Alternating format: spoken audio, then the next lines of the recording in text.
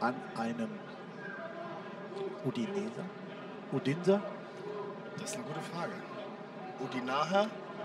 Udineser? Ich weiß. Ithaka. Oh, Italiener. Italiener meintest du doch sicher. Ja, weil Ithaka ist ja auch keine Beleidigung. Ich mag alle Italiener. Ja. Ich mag auch Italienisch. Und auch die Pizza. Die Nudeln. Besonders, besonders den Kapitän Lasagne. Lasagne. Den mag ich. Ah, die gehen.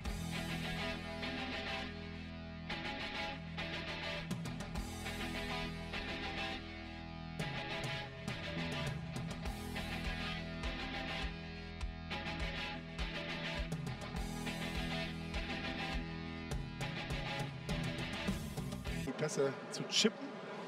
Es ist mehr, mehr Glück. Die Wasserschlacht in Waldkern von Alltag. Von Alltag. Von Alltag. In diese große Schlachten geschlagen worden. Nein, wir verlassen jetzt nicht unser so- sonst so hohes Niveau. Sonst so niedriges Niveau.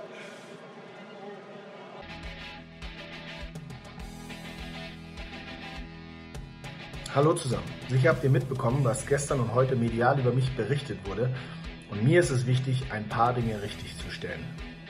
Es stimmt, dass es beim Vorbereitungsspiel des BVB gegen Udine zu Aussagen gekommen ist, die nicht in Ordnung waren. Es ist auch korrekt, dass es gegen Ende des Spiels durch mich zu einer Stimmimitation Adolf Hitlers gekommen ist. Das war ein dummer Versuch, witzig zu sein und der war völlig unangebracht.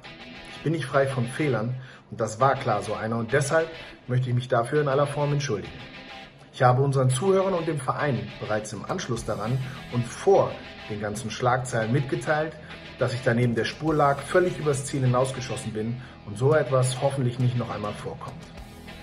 Was mir aber extrem wichtig ist, ich habe mich mit keinem Wort fremdenfeindlich geäußert. Auch nicht mit dieser Stimmenimitation. Das wurde von einigen, ja, von diversen Medien so dargestellt und ist absolut falsch.